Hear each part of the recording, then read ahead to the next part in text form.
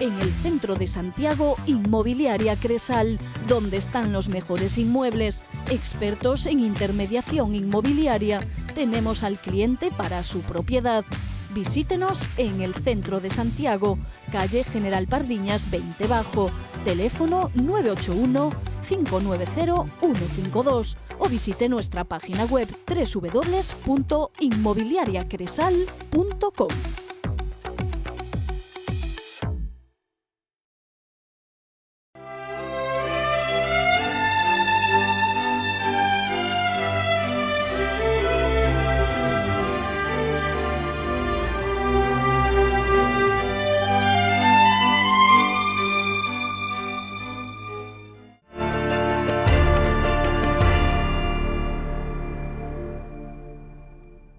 Hola, señoras y señores. El programa de hoy nuestra invitada es Montserrat Caballé Klaus, presidenta de la Fundación Montserrat Caballé.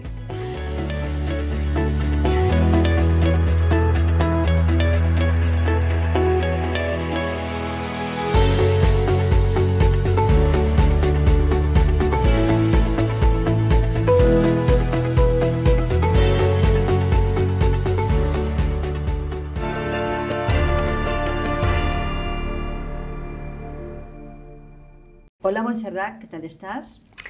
Hoy vamos a hablar de la cantante de ópera española más universal, una de las grandes divas del canto, junto a María Calas Orlando Tebaldi, con Montserrat eh, Caballé, su sobrina.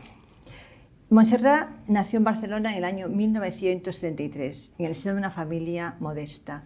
¿Cómo recordaba ella su infancia? Ella siempre la recordaba con mucho cariño, porque eran sus padres, ella y luego su hermano que nació. Y tenía muchas dificultades porque, claro, ella lo que recuerda, aunque nació en el 33, pues los primeros recuerdos que tiene son cuando ya tienes unos pocos años Ya, más. ya, ya, ya. Y, y entonces, claro, una familia eh, después de la posguerra civil nuestra, pues em- imagínate, sin recursos, sin nada, con dificultades para poder comer.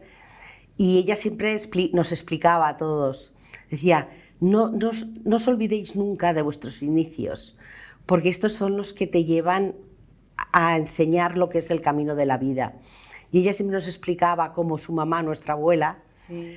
eh, pues iban a la montaña a recoger tomillo, porque la comida de Navidad era una sopa de tomillo con un huevo. Y era el manjar más maravilloso, dice, que había. Que claro, cuando lo oyes hoy dices, uy, madre mía, pero claro, en esos momentos debía ser así.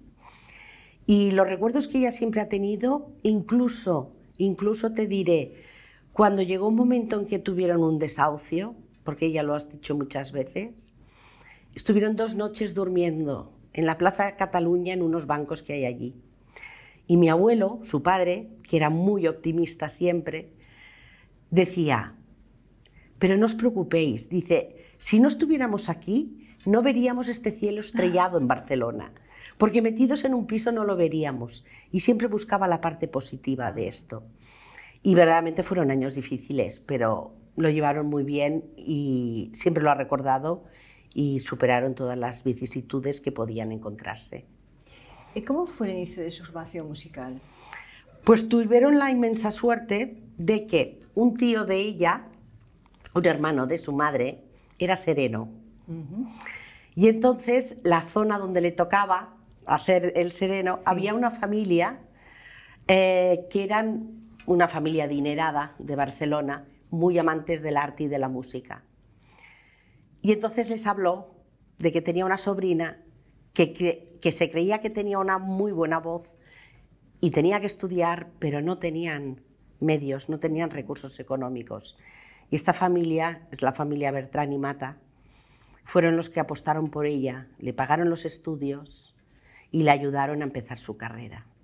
Y esto es otra cosa que Montserrat no olvidó nunca durante toda su vida. Y lo mismo que hicieron con ella, ella lo estuvo haciendo con mucha gente. Ella estudió en el Conservatorio Superior de Música del Liceo, ¿verdad? Correcto.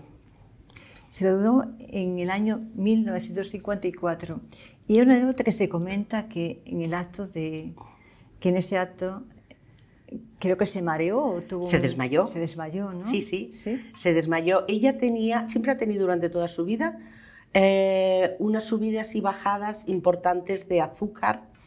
Y esto lo hacía, eh, pues eso, que de repente necesitara azúcar y si no lo tomaba, y no, no es porque no era diabética ni nada, pero tenía siempre unas pocas de dificultades y efectivamente en ese momento se desmayó le dio como un poco de anemia o algo y se desmayó. Y en ese momento no le pudieron dar la medalla de oro, que se la merecía. Y se la dieron 50 años después. Fíjate. Gracias a Dios llegaron a tiempo para dársela en vida todavía. Ella eh, estudió con Conchita Badía, ¿verdad? Sí, no, a ver, su maestra de canto fue Eugenia Kemeny. Ajá. Y con Conchita Badía también estudió mucho y con Conchita Badía lo que hizo fue estudiar todo el repertorio de Lied. Mm. Y Montserrat siempre mm, ha hablado, ha añorado y ha amado a Conchita Badía y a Eugenia Kemeny, cada una en su faceta, pero han sido sus maestras y sus guías. ¿Montserrat tenía algunos otros estudios aparte de los musicales? No, Montserrat había empezado a estudiar un poco enfermería, mm. porque era una cosa, el ayudar a la gente era lo que ella siempre hacía. vocación, ¿no? Sí. Pero bueno, eran unos, unas nociones, ¿eh? tampoco había hecho ninguna carrera. Es que en ese momento no había para poder hacer estudios. Ni, y tuvo la suerte, como he dicho antes, de conocer a la familia Bertrán, que apostó por ella y le pagaron los estudios, porque verdaderamente consideraron que sí que valía la pena. Y gracias a Dios que lo hicieron, pues si no, no hubiéramos tenido a Montserrat. Bueno, eh, ¿cuál fue su primera actuación en público reseñable? Que se recuerde así. A ver, para ella, evidentemente... La primera, ¿eh? sí. A ver, ella siempre hablaba de cuando emigraron, eh, que fue cuando empezó su carrera. Ya. En el año 56. en Basilea, ¿no? En Basilea, correcto. Y allí, eh, cuando fue a audicionar, hay una anécdota también muy curiosa que eh, ya tenían mm, a todos los cantantes cogidos para esa temporada. Pero cuando hizo la audición, al director del teatro de la ópera de Basilea le gustó tanto que le dijo, usted es un diamante en bruto. Hay que pulirlo, pero es un diamante en bruto. Dice, yo no le puedo prometer que pueda cantar mucho aquí, porque ya están todos los, todo, está todo repartido. Dice, pero sí le ofrezco un contrato para poder cantar alguna vez. ¿Y cuál fue su gran oportunidad? Que cuando cogió el contrato, que estuvo tres años en Basilea, a la primera de cambio una cantante, una soprano, se puso enferma y entonces ella ya allí empezó ya a cantar bueno, esta circunstancia se va a dar más veces después, también lo comentaremos, ¿verdad? Y, interpretó, me parece, el papel de Mimi eh, de la Bohème de, de Correcto. El 17 de noviembre del año 56. Entonces tenía 23 años. Sí. Y, su hermano era adolescente, tu padre, sí, mi padre estaba allí, pero estudiaba en ese momento. Coméntame una cosa, esta circunstancia que tengas el mismo nombre que Montserrat y el mismo apellido, supongo que te habrá comportado muchas curiosidades, ¿no? Pues sí, y nos ha traído muchos problemas. Yo siempre le decía a mis padres, ¿pero por qué me habéis puesto Montserrat también? Porque claro, yo me siento muy orgullosa de llevar este nombre, pero nos ha traído muchos problemas. Aparte, a mí, cuando era adolescente, de que fuera, yo me acuerdo, yo iba a estudiar piano al conservatorio del liceo. Y cuando llegaba la hora de los exámenes, en, ese, en esos años, eh, pues llamaban a grito pelado con la lista y tenías que subir las escaleras para ir a examinarte. Y yo recuerdo que cada vez, cada año que llegaba, Montserrat Caballé, pues salía el de turno y decía, sí, hombre, yo Beethoven. Y así. Y yo en, ese en esos años me sentía un poco rara porque decía, ¿por qué me pasa siempre esto? Luego, claro, iba a algunos sitios que si la reserva estaba hecha no claro, me imagino, ¿eh? bueno, pues te esperaban, la mejor mesa. te esperaban con los brazos abiertos. Y luego hay las anécdotas más divertidas y las mejores para mí, que, bueno, yo he sido... Mm, asistente personal, mano derecha, llámale como quieras, durante 33 años a Montserrat. Empecé con ella en el año 85. Sí. Y claro, en ese momento empezamos a viajar y a volar semana tras semana dos Montserrat Caballés. ¿Y qué pasaba? Que muchas veces nos cancelaban un- un- eh, uno de los billetes porque decían que habíamos hecho doble reserva. Claro. Llegábamos a los hoteles, nos cancelaban una habitación porque decían que habíamos hecho doble reserva. Hasta que al final decidimos ya que para viajar, yo en vez de ser Montserrat Caballé, yo sería Monse Caballé Klaus. Klaus es el apellido de mi madre. Claro. Y de esta manera ya todo iba a nombre de Montserrat Caballé y Monse Caballé Klaus. Y a partir de allí ya no hubo ningún problema nunca. Bueno, sigamos con el éxito de, de, de Montserrat en, en Basilea. Y creo que la familia se trasladó toda a vivir allí, Sí, ¿no? toda. Fueron toda la familia allí. Como decíamos antes, mm, bueno, pues se pusieron a trabajar de lo que había, de lo que se podía. Ella estaba contratada por el teatro, mi abuela cogía punto, eh, mi abuelo mm, pues cogía los trabajos que salían en ese momento allí y mi padre todavía iba al colegio. En adolescente, Sí, ¿no? 14 años. Exacto. ¿Y padre? estaba estudiando. Y, y bueno, y de allí pues estuvieron los tres años. Montserrat empezó pues, gracias a Dios, con esta maravillosa carrera que hizo. Y también han sido siempre recuerdos bonitos, porque además siempre hablaban de la guardilla, que era el piso donde, Fíjate, donde habían vivido allí, que estaba cerca del zoo y que oían cada mañana los monos y los animales, pero siempre lo explicaba con un cariño, con, con un amor que es algo, yo como digo, es la base de su carrera, la base de su vida. Y cuando no olvidas eso, Y nunca se No encontró con, con nadie que le dijese que dejase el, el canto, Sí, que no a tenía... ver, ella antes de todo esto fue con su madre, porque entonces iba con la mamá a hacer audiciones a Italia. Sí, Y además tuvo la oportunidad de poder hacer la audición para un gran, eh, un, un gran agente italiano, el cual el nombre nunca lo llegó a decir, porque años después le dijo, Montserrat, por favor, nunca digas que fui yo. sí, ¿no? Y fue a hacer una audición y cuando acabó de cantar le dijo, señorita Montserrat, lo mejor que le puede pasar es que vuelva a España, se case y tenga hijos, porque usted para esto no sirve. adivino, ¿eh? bueno, Y esa es la anécdota y Montserrat le prometió que nunca diría, y así fue, nunca dijo quién había sido. ¿quién había sido? Bueno, después de, de Suiza se fue a vivir a Alemania, a Bremen. Correcto.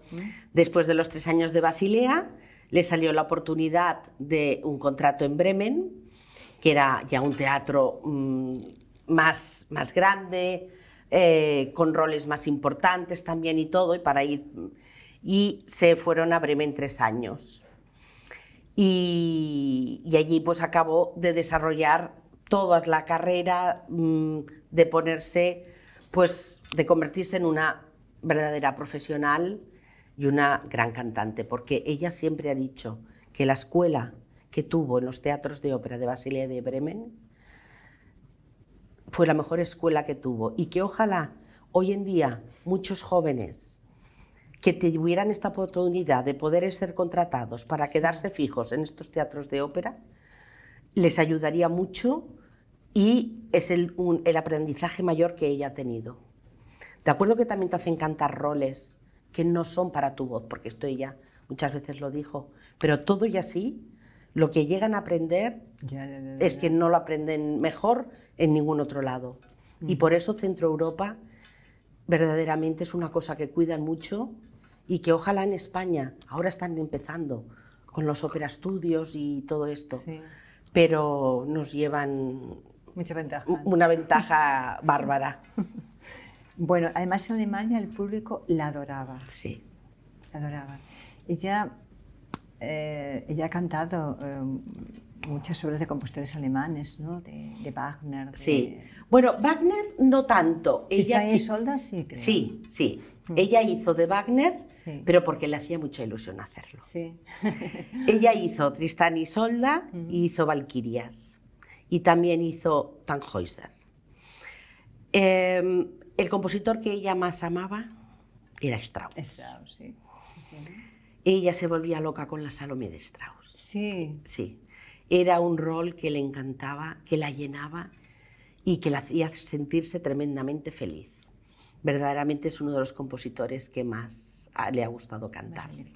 Bueno, además de Strauss, precisamente de, de él fue eh, la obra que tocó en su debut en el Liceo de Barcelona, ¿verdad? En el, en el 62. Arabella. Exactamente. Que creo que fue un estreno además en España, ¿no? Que no se Sí, correcto. Ella siempre tuvo, estuvo siempre, siempre muy ligada a- al liceo, ¿verdad? Sí, bueno, a ver, era su casa.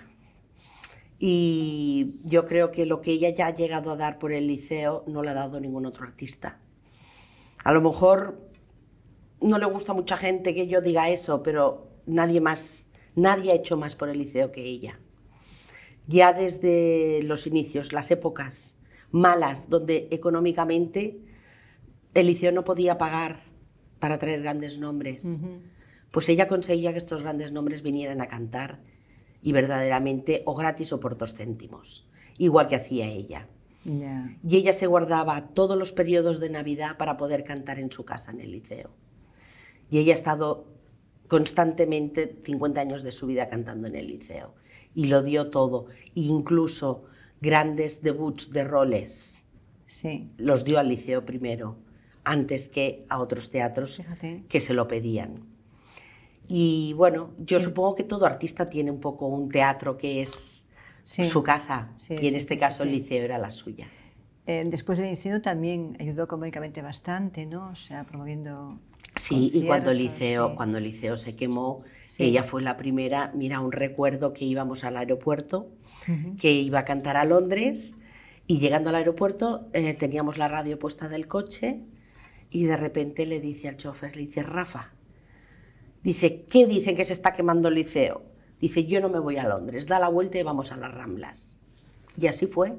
Y llegamos a las Ramblas y aquello era que cuando lo vio ella se puso a llorar y dijo, ya no hay liceo. Yo tenía que estar aquí. El liceo fue siempre mi talismán. Y verlo así fue horroroso, desolador, muy desolador. No puedo librarme de esta sensación. Estos palcos y este escenario, testigos de noches tan mágicas. No queda nada, nada. Porque era una barbaridad lo que se veía allí, que salía. además, claro, Sí. con toda la calidad. Y bueno, ella fue de las primeras que se puso, digamos, a- delante del, del teatro, de las autoridades, de los responsables, a decir, ¿qué hay que hacer? Vamos para adelante, empezamos a hacer conciertos, empezamos a hacer actuaciones para mm, reconstruir el teatro. Y así fue. Y empezaron a hacer una serie de conciertos y ella recitales benéficos en Proliceo por todo el mundo. Y gracias a Dios, a esto y a otro mucho dinero, evidentemente, de Ya. otros lados, eh, pues se pudo reconstruir el teatro bastante rápido. Sí, rapidísimo, Sí. ¿no? Muy poquitos años. Eh, en 1963 conoció al que, que sería su marido, el tenor zaragozano Bernabé Martí. Lo conoció además en Galicia, en La Coruña, ¿Y sí? en, en el Festival de Ópera de La Coruña, donde ella eh, participaba interpretando Madame Butterfly de, de Puccini, ¿no? Un sí. papel que también yo creo que, que le gustaba, ¿no? Que- Sí, sí. Bueno, se conocieron aquí, la anécdota, bueno, la, ya es sabida mundialmente, se conocieron aquí y luego, después de conocerse, pues lo típico, uy, pues no está mal, este es guapo. Total que luego se tenía que hacer esta obra también en el Liceo de Barcelona. Sí, Y ella hizo unos comentarios a los que trabajaban allí en el teatro sí, sí, que dijo, uy, cuando se enteró que venía Bernabé a cantar también allí. sí. Y entonces dice, uy, dice, pero este chico es muy tímido. Dice, no se atreve ni a dar un beso, no se atreve. Total que se lo dijeron a él. Ya. Y cuando se lo dijeron a él, cuando llegó el momento de la representación, la cogió y le dio un beso que caía al telón y aún la estaba besando. Y desde allí, bueno, estuvieron como novios seis meses Y a los seis meses se casaron. Qué bonito, ¿no? Y ha sido, han sido, perdón, una pareja maravillosa. Bueno, se, se lo merecía. Perdona. Se lo merecía. Mira, eh, ese mismo No, año... es que me, pienso ahora entiendo ya- porque hace muy poquito más que, Sí, que ha pasado. y Bernabé también hace tres meses muy que marchó. falleció, sí. Perdonad, ¿eh? Nada, nada. Normal, es normal. Mira, en ese mismo año, en el 63, ella eh, va a ser profesora de música en Compostela, del curso internacional de Universidad de Música en Compostela, curso que había participado ya el año anterior como alumna y había interpretado también Madame Butterfly. Corre- que- Sí, sí. Ella siempre hablaba de esto y le encantaba venir a Galicia y le encantaba Santiago. Y además luego ya muchos años vino a, a cantar para los amigos de la ópera La Coruña. Sí, Y sí. aquí también ha interpretado muchísimos roles. Sí, entonces la profesora de, de canto de los cursos de música en Compostela era Conchita Badía. Sí, sí, sí, sí. Y ella y ella tiene fotos guardadas. recreativo. Sí, sí. O sea que, perfecto. Bueno, pero su primer gran éxito internacional eh, tuvo lugar en el año 1965, cuando estudió a Marilyn Horne en la, vers- en la versión concierto de Lucrecia Borgia en el Carnegie Hall de Nueva York. Sí. A ver, cuéntanos esto. A ver, yo cuento lo que sé de oídas, porque yo nací ese año, además. y, y bueno, lo que siempre han explicado que fue una maravilla, porque se aprendió el rol en, nada, en tres semanas. Para es- en esos momentos, mi padre ya estaba, o sea, mm, Ya eres representante, sí, ¿no? claro, Sí, yo es lo que iba a decir. Después de Bremen, sí, antes de que llegara a Nueva York, sí.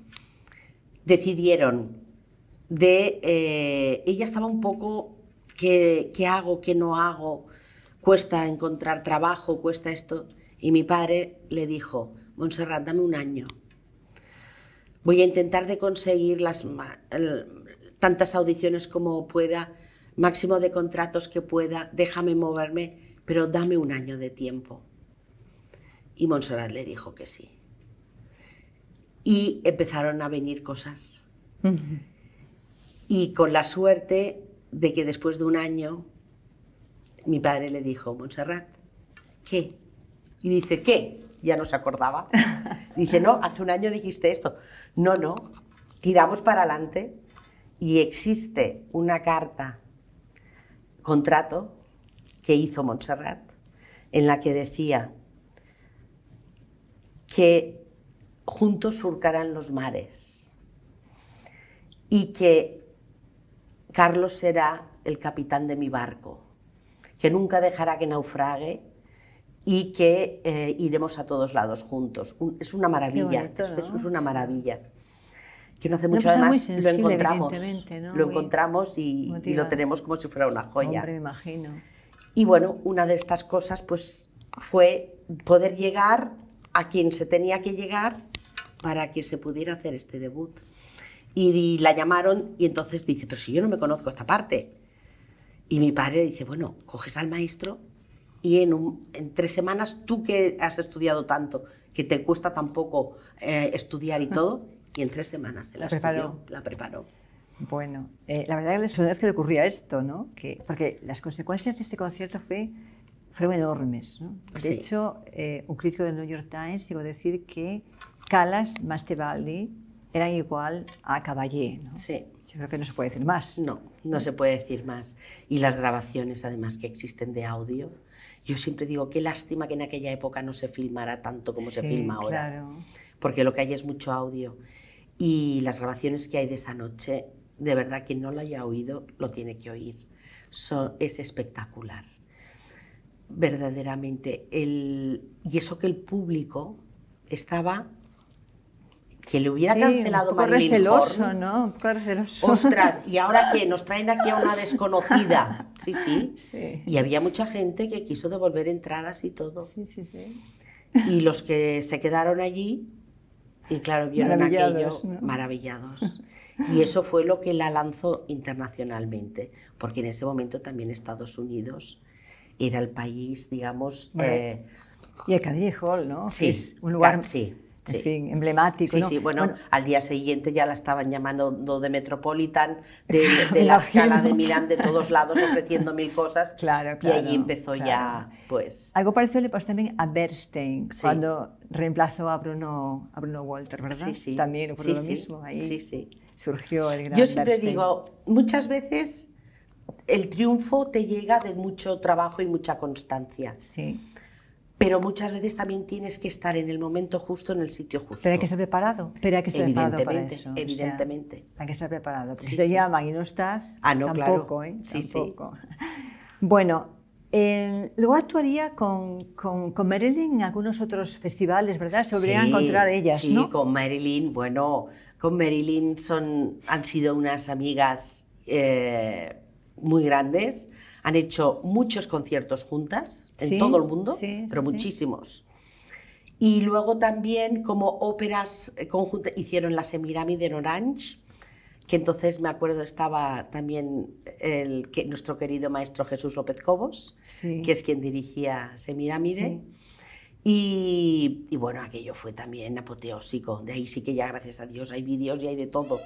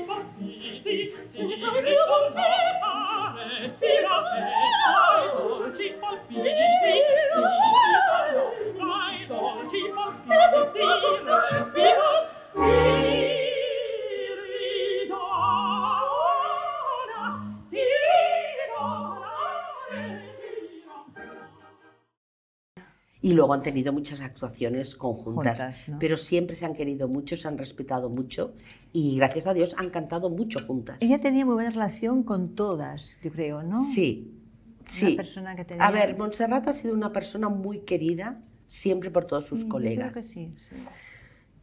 Yo la palabra envidia, te diré, gracias a Dios no la he conocido, ni por parte de ella, ni alguien cercano que hayamos vivido. Ya, ya, ya, ya. Mm. O sea, eh, seguro que en todas las profesiones las hay, Seguro que sí. claro. pero ella es una persona, bueno, ha sido una persona que se ha dado mucho, Sí, que muy natural y ha querido hacer su trabajo bien hecho, siempre se ha llevado bien con todo el mundo. A ver, discusiones las puedes tener, las tenemos todos en nuestros momentos de trabajo. ya. Evidentemente, ella también ha discutido, porque yo ahora te, te voy a explicar una anécdota que me viene ahora a la cabeza. Ella, por ejemplo, en, en los años 70 la querían hacer cantar Norma en la ópera de Bonn, subida encima de una tanqueta y con una ametralladora. Y cuando ella llega el primer día de ensayo y le explican eso, ella dice que lo siente mucho, Ya. pero que se encuentra muy mal Ya. y que se va a ver a su médico y no volvió. Bueno, aparte Norma, que era uno de, en fin, de sus óperas. Sí, sí, pero quiero decirte, problemas, claro que todo el mundo los ha tenido, ya. pero ella es una persona siempre, ya como digo, muy amigable, muy cercana. Sí, sí. Y la gente yo creo que la ha querido por cómo es también. Ella, creo yo, ha ido más allá de lo que es un escenario. Ella, aparte de ser una maravillosa cantante, para unos la mejor que ha existido, para otros una de las grandes, ella ha sido un ser humano increíble. Y yo creo que eso es lo que ha marcado a la Ha gente. primado, Hay mucha gente Mm. que no ha oído nada mm, cantar a Montserrat Caballé, pero saben quién es. Sea en España, en Alemania, en la China, donde sea. Y claro, eso es porque hay algo más en ella, que la han conocido a través de otros medios, ya no te digo también desde la época de Barcelona con Freddie Mercury, que eso también hizo, es verdad, que mucha gente se acercara a la música Sí, clásica. sí, sí. Pero, pero es que ella, ella era así. Let the songs begin. Let the music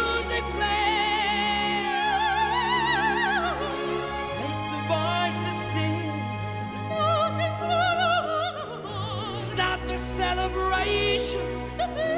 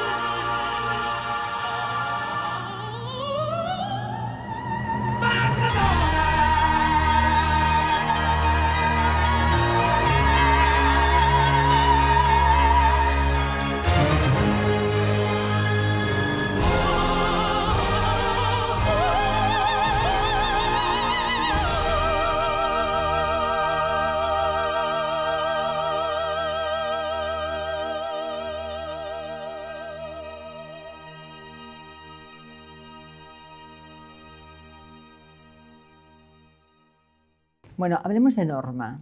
Con Norma debutó en la Escala de Milán en 1933. Pero esta es una obra, eh, en fin, que, que la ha acompañado siempre y yo creo que muy importante para, para, para Montserrat. Bueno, ha sido un rol, un rol de bel canto de los que la han destacado más, porque hasta ese momento mm, Norma era María Callas y nadie más se atrevía a hacer, Norma, porque Norma verdaderamente es un rol eh, muy fuerte y muy difícil de cantar y de interpretar.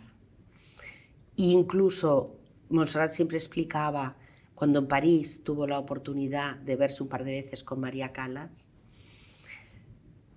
y fue cuando ya le ofrecían de hacer Norma, ella le decía, María Callas le decía a Montserrat, hazla, hazla. Y Montserrat siempre le decía, no puedo. Dices que después de ti, ¿quién más puede hacer Norma? Y decía, tú, solo tú, porque nuestras voces son tan diferentes. Dice que la manera como tú cantarás Norma será muy diferente de la mía, pero la belleza de tu voz no la tengo ni yo ni la tiene nadie. Y Norma verás que será uno de los triunfos de tu carrera. Y le regaló sus pendientes de Norma. ¿Ah, y sí? le dijo, están en casa en una vitrina, Sí, y le dijo, el día que cantes Norma, toma. póntelos. Pero llegó ese primer día y Montserrat no se atrevió a ponérselos. y los tiene guardados en una ¿Sí? caja con, como oro un paño. Bueno, hay una, una interpretación que es todo un referente, ¿no? Que es la, la que realizó el Teatro Antiguo de, De Orange. de Orange, ¿verdad? Que todos hemos visto. sí, sí. Es- es esa es la norma por predilección. Todo y que ahora por las redes está corriendo otra, que Sí. también es espectacular y maravillosa, que es del Bolshoi de Moscú, Ah, que la hizo a posteriori. Eh, pero claro, el- la filmación de esta norma con ese escenario, ese viento mistral, ese viento, sí. sí. No viendo que se tuvieron que poner papel de periódico ¿Y cómo bajo, bajo- con ese viento bajo los vestidos para cortar el frío de ese viento. Fíjate. Sí, sí. Y ya ves, el la resultado es increíble. fue espectacular. Y eso está allí, gracias a Dios, y está en la historia. Quedó grabado, qué suerte, ¿verdad? Sí, que sí, se ha perdido. Bueno, Montserrat ha tenido una larguísima carrera como cantante, ¿no? Algo que no es muy usual. ¿Cómo explicaba ella esto? Bueno, yo creo que es- ha sido muy inteligente siempre, porque para hacer una carrera no tienes que tener solo voz, tienes que tener también inteligencia. Saber qué puedes y qué no puedes cantar. Entonces, claro. Entonces, yo entiendo que es lo que ella decía siempre, que depende cómo, por tal de cantar y trabajar, aceptas todo lo que te ofrezcan. Y ella, gracias a Dios, no tuvo que hacer No eso. tuvo que hacer eso, claro. Pero porque trabajó mucho. Y cuando es verdad que le ofrecieron muchas cosas y grandes teatros. Después del 65 le llegaron a ofrecer unos roles impresionantes en unos teatros No, en todos los teatros, los más importantes del mundo, en todos. Pero cuando le ofrecían el rol, Carlos y ella se miraban y decían no. Y el teatro, por, por poner un ejemplo, Metropolitan, en ese momento. Sí. Pero ¿cómo no puede aceptar? No, no, esperaremos otro año a que haya una ópera más adecuada para su Ajá. voz. O sea, que, Y así fue durante toda su carrera. o sea que los papeles muy pesados los evitaba precisamente para no de- forzar. de- ¿no? A ver, depende del momento. Eh, la voz es como, se- es como la- va con la edad. O sea, Ah, tú- claro, claro, claro. Entonces, Evol- eh, no puedes estar cantando con 30 años a no ser que tengas una voz hecha en ese momento para cantar roles fuertes, tipo Nabucco, tipo Wagner, cosas Sí, de este estilo. sí, sí, sí, claro. Que la tu voz ya es así, adecuada para esto, sino ella era una, ella era una soprano lírica, que Claro, después ah, claro. fue de lírico a spinto. Claro, claro, claro. Y, y entonces, pues, tienes que ir evolucionando con los roles igual que Pero qué inteligencia entender eso, ¿eh? Sí, qué inteligencia. Bueno, interpretó óperas y conciertos en principales centros del mundo, como tú has dicho, junto a las mejores orquestas y directores. ¿Tenía preferencia por algún director? ¿Recordaba cómo memorable algún concierto? A ver, directores de orquesta, pues bueno, ha trabajado con los mejores. Claro, de cada uno, a ella le encantaba cantar con Zubin Meta. Sí. Con Meta disfrutaba. Sí, porque decía, cantamos los dos. Sí, sí, tenían una química además entre ellos, que cuando estaban los dos en el escenario se veía esa química. Él llevaba la orquesta por unos caminos que la voz entraba en esos caminos Ya, como ya. sutilmente, Ya, que hacían una comunión entre los dos. Luego también disfrutó mucho eh, cantando con Claudio Abbado. A ver, con, con Muti también. Es que, es que ha cantado con todos. Ya, ya, ya, ya. Eh, y claro, mm, cuando estás en buenas manos, que un cantante también tiene que estar en buenas manos como batuta, Claro, claro. y, y, y, no sé, ha disfrutado mucho. ¿Y hubo un concierto de acordarse como especial, por la razón que fuese, que ya siempre lo nombrase, ah, aquel concierto, aquel sitio? Es que para ella todo era especial. Sí. Hombre, claro que hablaba de noches especiales, como la de Carnegie Hall, eh, no sé, como la Tosca con Pavarotti en el Metropolitan, o la Adriana Lecubre con Carreras en Japón, o también eh, cuando hizo la ida con, con Plácido. Eh, a ver, es que ha cantado con los mejores y ha sido dirigida por los mejores. Ya. Entonces, claro, cada noche ha sido especial para Especial. ella. Y siempre dice, ¿me haces quedarme con una? No puedo. No puedo, claro, lógico. Mira, Montserrat hizo también su incursión en, el- en la música popular y pop, grabando La billetera con Sara Montiel y un álbum eh, con Freddie Mercury. ¿no? ¿Cómo vivió esta experiencia ella? Le en- encantó, ¿Sí? disfrutó ¿Disfrutó? muchísimo. Sí. Disfrutó muchísimo. Porque además fue la primera de todas, luego vinieron Pavarotti en Friends y Sí, todo esto. sí, sí, sí. Pero ella fue la primera que unió lo clásico con el rock. Sí. Y en ese momento, yo recuerdo esas grabaciones, que Montserrat decía, madre mía, me van a matar mis fans. Y Freddie Mercury decía, madre mía, pues si los míos no te cuento. Sí, sí. Y verdaderamente unir esos dos mundos, Increíble, ¿no? Pero cuando lo unes con dos grandes, Claro, porque eso Freddie sí. Mercury era un grande también, Sí. pues queda una cosa muy bien hecha. Y te diré, no sé al mundo rock, pero al mundo de la ópera hizo que mucha gente viniera. Yo recuerdo en la ópera de Viena, con Claudio Abbado, cuando terminaron una representación, Sí. que salían, cuando salen y hay una zona donde se ponen para firmar discos. Sí. Y de repente vino una gentada allí con el disco de Barcelona y Claudio Abado se miraba a Montserrat y decía, yo estoy aquí firmando la sinfónica. Dice, ¿y tú aquí con el Barcelona? Y uno de los que vino con los discos dice, señora Caballé, gracias porque no conocíamos la ópera. Claro. Y gracias a, a esto que usted ha hecho con nuestro Freddy, hemos descubierto la ópera y nos ha enamorado y vamos a venir a la ópera más a menudo. Claro, esto en el fondo es una satisfacción, porque dices, bueno, he hecho algo que por lo menos conozcan. Ya, ya, ya. ya. Y ella disfrutaba mucho porque, a ver, siempre la música, no, no hablemos de diferentes estilos. La música cuando está bien hecha es muy buena, sea el estilo que sea. Tienes que saber hacer buena música y saber interpretarla bien. Y entonces ya da lo mismo el estilo que sea. Y eso es lo que ella estuvo haciendo. La habrán criticado o no, pero ella disfrutaba. Bueno, además, eh, Barcelona fue elegido el himno oficial de las Olimpiadas. sí, ¿no? desgraciadamente como Freddy falleció un año antes, sí. no se pudo No podía interpretar en directo, sí. pero sí, sí. Bueno, si hubiera estado jornada de reconocimientos y de, y de- premios, ¿no? No sé, por decir alguno.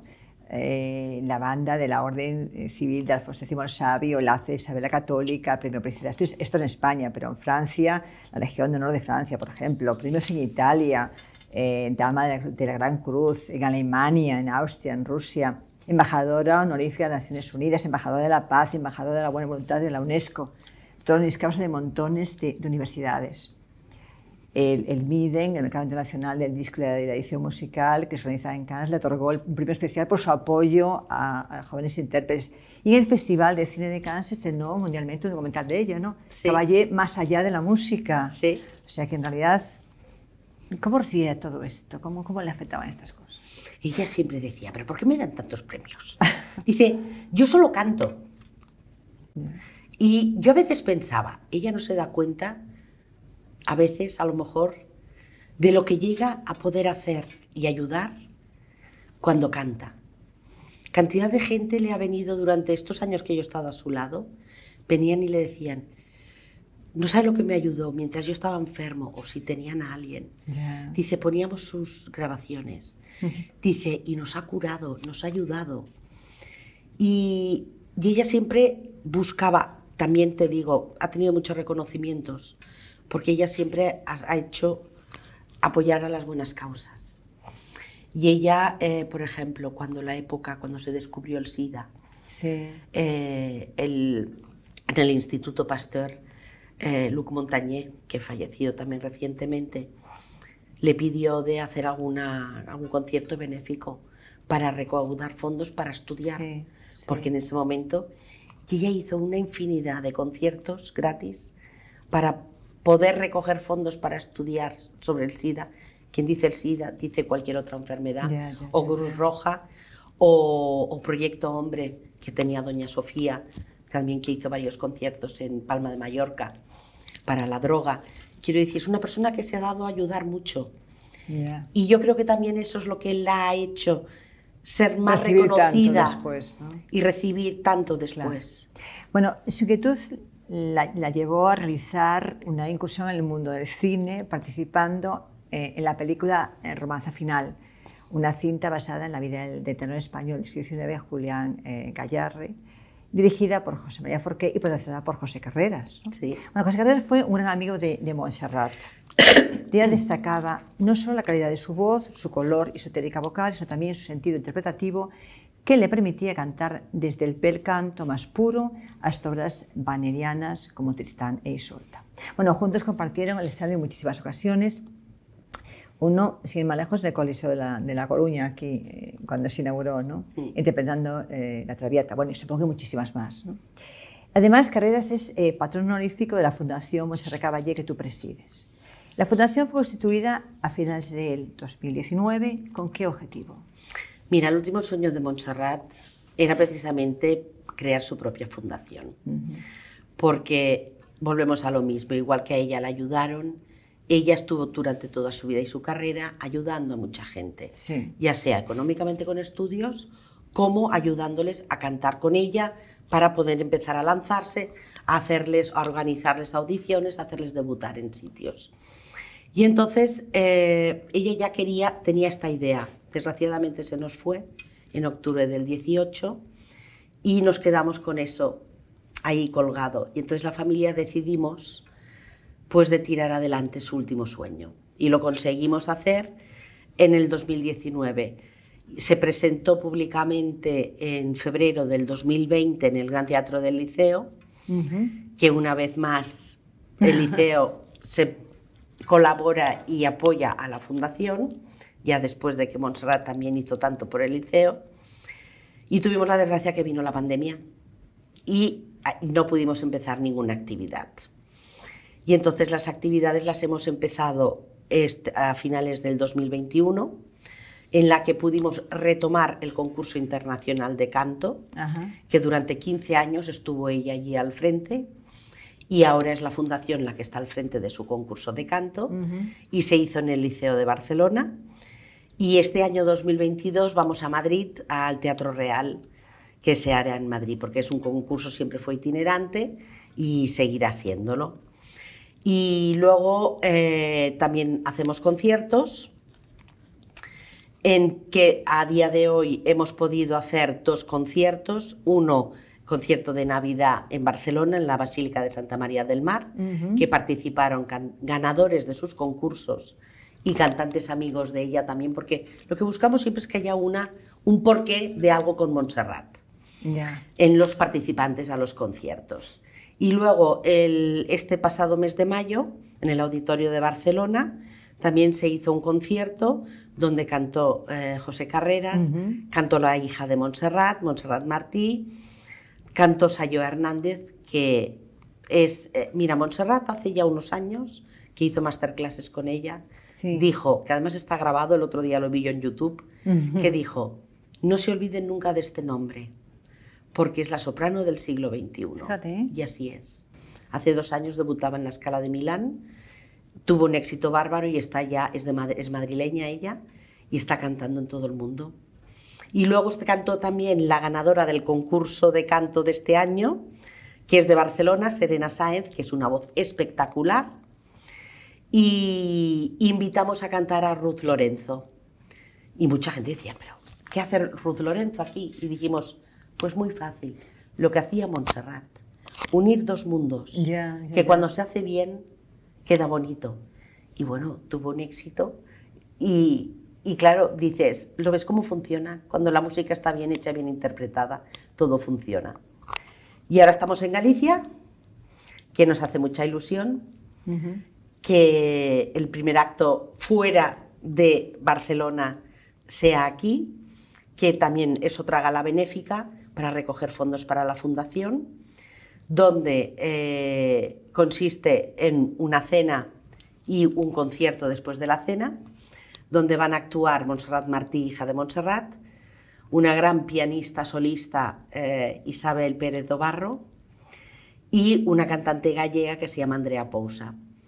Y estoy muy contenta de que sea este primer acto aquí en Galicia y espero que hagamos muchísimos más. Pues ojalá. Todo es para recoger fondos para la fundación, para poder ayudar a jóvenes talentos y poder seguir con la labor que hacía Montserrat. Pues ojalá tengas mucho éxito. Muchísimas bueno, gracias. Montserrat, gracias por compartir tu tiempo con nosotros. Ha sido un placer hablar contigo. Muchísimas gracias María también contigo.